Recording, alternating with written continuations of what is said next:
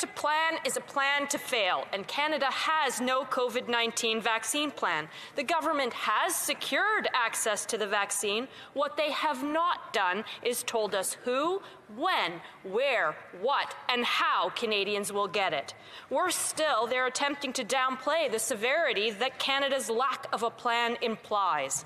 As a former military logistician, I cannot overstate that the complexity of the prioritization, transportation, and security of the vaccine distribution must not be underestimated.